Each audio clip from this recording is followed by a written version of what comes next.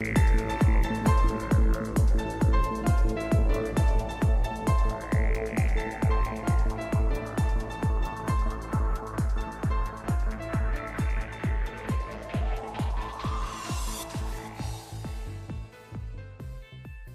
qué tal? Eh, bienvenidos al módulo 7, video tutorial, al que vamos a dedicar a trabajar con las sesiones HTTP. Las sesiones HTTP eh, son similares al request HTTP. Al request donde manejamos el post y el get. Pero hay una diferencia que todos los atributos o parámetros que asignamos en el request HTTP, ya sea post o get, van a durar lo que dura una, una petición web, una solicitud o request. Mientras que las sesiones HTTP pueden durar varios requests. Eh, son persistentes a través de múltiples requests. Y van a persistir hasta que la sesión se invalide, es decir, se elimine o bien hasta que se cierre el navegador o también puede ocurrir un timeout. Entonces, una sesión permite guardar, almacenar datos que van a durar durante el transcurso de nuestra aplicación en varios requests. Un ejemplo eh, típico de uso cuando trabajamos con sistemas en multilingüe. Ahí queremos que nos guarde nuestro locale, es decir, nuestra localización. O bien también para tener un sistema de login de usuario, con un sistema de seguridad, autentificación, por lo tanto, la información del usuario, las credenciales, se van a guardar y por supuesto van a persistir durante el uso de nuestra aplicación web mientras está abierto nuestro navegador. O hasta también, hasta cerrar también la sesión de usuario. Ahora la idea de este video tutorial es analizar y estudiar un ejemplo de carro de compra. Acá tenemos otro ejemplo donde podemos utilizar las sesiones HTTP para guardar los productos a una lista de compra o o también llamado un carro de compra. Por lo tanto, vamos a tener un catálogo de productos con, con el precio y podemos, mediante un clic, agregar producto a nuestro carro de compra y este se va a mantener persistente, por lo tanto los productos se van a almacenar y a guardar y van a quedar ahí durante el uso de nuestra aplicación. Bien, eh, nos vamos al IDE, a NetBeans, para comenzar con analizar el código del carro de compra. Eh, comenzamos con abrir el proyecto. En la pestaña Project, como siempre, vamos a importar, abrir el proyecto del módulo 7.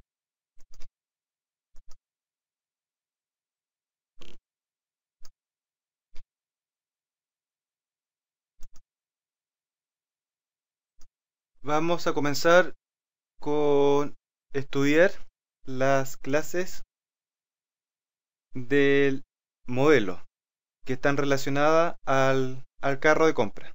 Entonces dentro de Model Entity, acá tenemos dos clases que están relacionadas y son parte de, del modelo, ya que representan datos. Y están relacionadas porque el carro de compra, acá eh, podemos ver que tiene un atributo contents, que es del tipo array, un arraylo o array object, donde se van a almacenar y guardar los ítems carro, los elementos del carro. Por lo tanto, el carro de compras puede tener varios una relación de muchos ítems carro. Y a su vez el ítem carro va a tener una relación con un producto. Un producto y este producto viene de la base de datos. Bien, acá tenemos un constructor que invoca el método reiniciar o reset.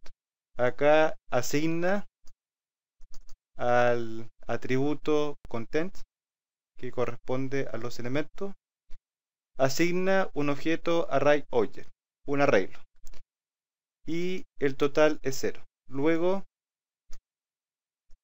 valida en caso de existir la sesión carro y si existe la elimina.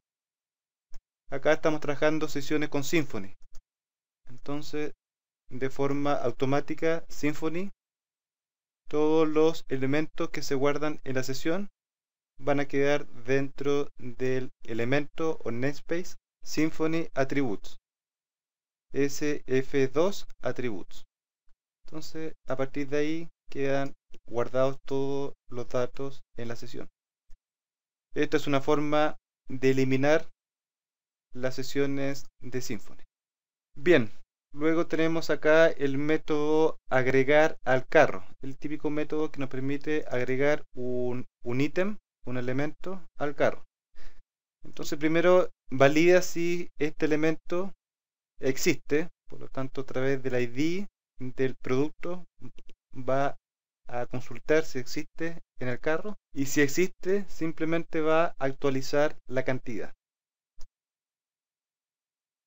Ahora, si es un elemento nuevo que se está agregando, lo va a agregar con el método del array object offset set. Acá pasamos como el índice o la llave, el ID del producto y como valor guardamos el ítem, el, objeto ítem, que a su vez contiene el objeto producto y también la cantidad.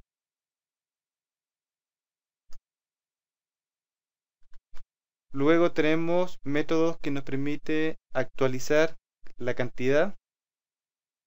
Entonces acá pasamos el ID del, del producto y la cantidad. Va a buscar el, el elemento, el ítem y cambiamos la cantidad. Bueno, el método cleanUp lo que hace es una limpieza, es decir, elimina todos los elementos del carro de compra que tengan cantidad menor a 1, es decir, una cantidad 0. Luego tenemos el, el contador que nos indica la cantidad de productos en el carro de compra. Acá nos permite obtener la cantidad para un producto determinado dentro del carro. El incart es para validar si existe un producto por su ID en el carro y lo mismo que has. Por lo tanto, has y cart hacen lo mismo. Básicamente, has es un alias de incart.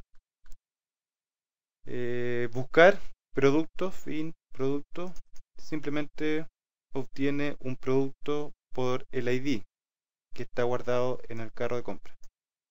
Un ítem carro. Acá nos permite eliminar un, ítem por el ID o bien eliminar varios ID, varios ítems por su ID. Por lo tanto recibe un, un objeto del tipo array access, que en definitiva es un array object, ya que la clase array object implementa la interfaz array access. Eh, también podemos borrar todos, obtener la lista de ítem carro. Acá lo que hace es contar una sumatoria del, del total. Por lo tanto, acá en calcular total lo que hace es iterar sobre los elementos del carro y va sumando el importe y lo asigna al atributo total. Por lo tanto, acá va calculando el total de cada elemento. y lo va sumando. Luego tenemos el get content que obtiene los elementos. Similar al get products, pero el get products calcula el total.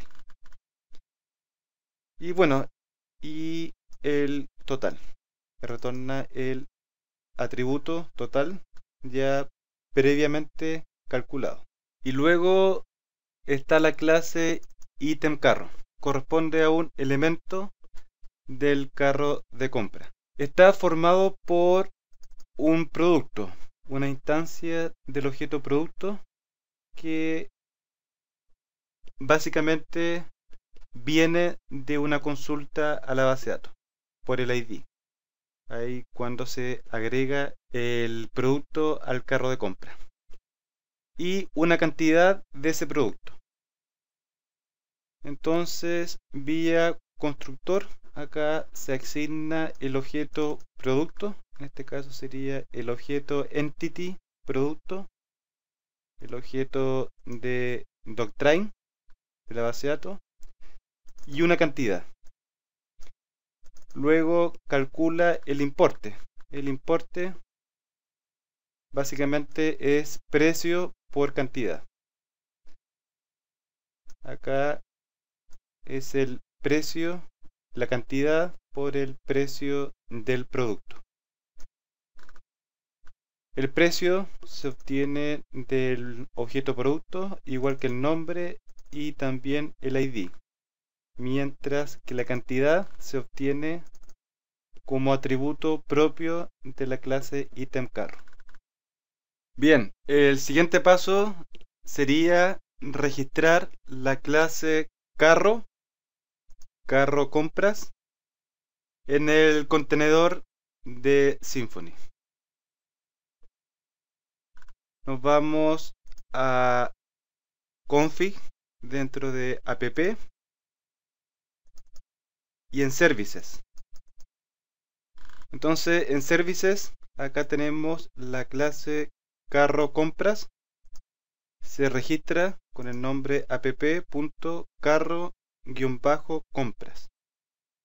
Y la idea es que esta clase quede almacenada en el contenedor de Symfony y posteriormente vamos a tener un, un listener que se encarga de validar si el carro de compras existe en la sesión HTTP. Si existe, obtenemos el carro de la sesión, de lo contrario, obtenemos el carro del contenedor de Symfony. Un poco más arriba, acá tenemos el carro de compras listener. Acá tenemos un carro compra listener Acá pasamos el service container para poder obtener el objeto carro, carro de compras. Se registra como un event listener del tipo kernel controller. Es decir, la idea es que se ejecute antes de, de llamar una acción del controlador. Nos vamos al event listener a carro compras listener. Acá inyectamos el contenedor de Symfony para que se pueda utilizar.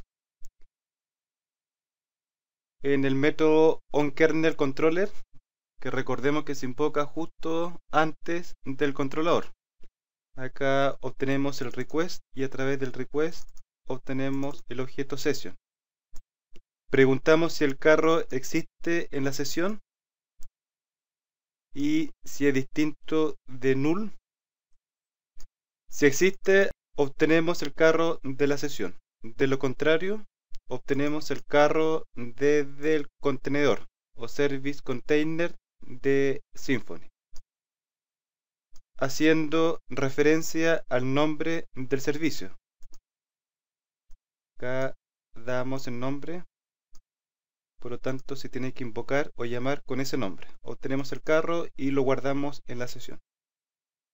Entonces en cada request va a estar validando que el carro exista y si existe, bueno, obtenemos el carro de la sesión. De lo contrario, la primera vez que se inicie nuestra aplicación con el carro compra, lo va a obtener del service container y ahí lo va a guardar en la sesión. Luego pasamos al template, al twig, al layout, el total de elementos del carro. Entonces de esta forma podemos mostrar la cantidad de elementos del carro en el, en el layout, en el header. Ahora nos vamos al controlador. Acá tenemos el carro controller. Necesitamos el producto DAO para obtener el producto por el ID cuando agregamos los productos al carro. Pero bien, acá tenemos el index action, método que se encarga de mostrar el carro de compra al usuario. Entonces pasamos a la vista los productos del carro. Acá tiene la lista del ítems carro. Pasamos el total y un título. El método agregar action se encarga de agregar un producto al carro de compra. Por lo tanto, en la URL se pasa el ID del producto usando el DAO, el producto DAO, obtenemos el producto, el objeto producto de Doctrine por el ID y lo pasamos al carro de compras. Lo pasamos al carro creando una instancia del ítem carro. Acá en el constructor del ítem carro pasamos el objeto producto y la cantidad. Que por defecto sería 1. Y damos un mensaje al flash. El producto ha sido agregado con éxito. Luego redirigimos a la vista del carro. La vista del carro compra. Luego tenemos el método action para actualizar cantidades y para eliminar productos del carro, ya que en el carro de compra, en la vista, vamos a tener un pequeño formulario para cambiar o modificar la cantidad de cada ítem y también a través de un checkbox para poder eliminar. Entonces acá tenemos los métodos para actualizar productos. Acá recibe los, los ítems que vamos a eliminar. Por lo tanto acá se encarga de borrar los productos que queramos eliminar. Y acá tenemos para actualizar la cantidad. Bien, eso sería básicamente nuestro controlador del carro. Vamos a la vista. Primero vamos a ver la vista del catálogo listar. Acá se agrega una columna comprar, comprar y acá se genera la URL para agregar al carro. Entonces carro agregar. Hacemos referencia a la ruta, al router. Carro agregar y pasamos el ID del producto. Agregar al carro. Entonces, de esta forma generamos una URL, un link que nos permita agregar un producto a través de su ID. Luego tenemos la vista en carro, la vista index. Acá tenemos un pequeño formulario que se va a carro actualizar, que básicamente para modificar la cantidad, la cantidad y poder eliminar un elemento. Acá tenemos entonces un input del tipo text para cambiar la cantidad de cada elemento y tenemos un checkbox para marcar los productos que queramos eliminar. Entonces el carro de compra es una tabla con el precio, la cantidad, el subtotal y la opción eliminar. Acá nos muestra el nombre en producto, nos muestra el nombre del producto, luego el precio, el precio unitario de cada elemento, el subtotal, que sería el precio por la cantidad, y el checkbox para eliminar. Finalmente tenemos el total. Acá el gran total de los elementos, ese gran total se pasa en el index como total. Acá. Y recordemos que los productos serían los elementos que se van iterando a través entonces de un for entonces por cada producto iteramos y mostramos el nombre precio la cantidad que es modificable el subtotal poder eliminar y el gran total al final. Y el botón el botón para actualizar. Y vamos a ejecutar el ejemplo. Acá podemos observar en el header se muestra el carro de compra con un link y aparece la cantidad de elementos. Si hacemos un clic el carro de compra va a estar vacío. No hay productos en el carro. Y nos vamos a catálogo. Acá podemos agregar por ejemplo en la cámara Sony vamos a hacer un clic en comprar agregar al carro. Nos da un mensaje de éxito y aparece el producto con el nombre, el precio unitario, la cantidad y el subtotal. Y un checkbox que nos permite eliminar. Por ejemplo, acá podemos cambiar la cantidad a 2, actualizar carro. Automáticamente se multiplica el subtotal, que sería el precio por la cantidad agregamos por ejemplo una bicicleta. Luego podemos agregar los cajones mica. Podemos eliminar la bicicleta y la cámara. Actualizar el carro. Y solamente queda el cajón podemos agregar un notebook. Quedamos hasta acá. Cualquier duda que tengan lo revisamos en el foro. Les habló el profesor Andrés. Hasta la próxima.